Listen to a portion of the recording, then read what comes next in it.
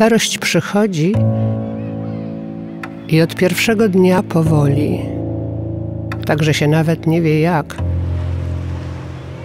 wszystko człowiekowi odbiera.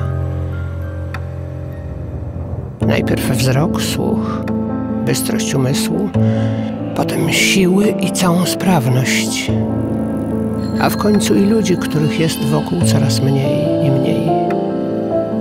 I tak się zostaje samemu z tą swoją chorobą sierocą. Wejdź proszę na zrozumieć starość.pl. Twoje zrozumienie wiele dla mnie znaczy.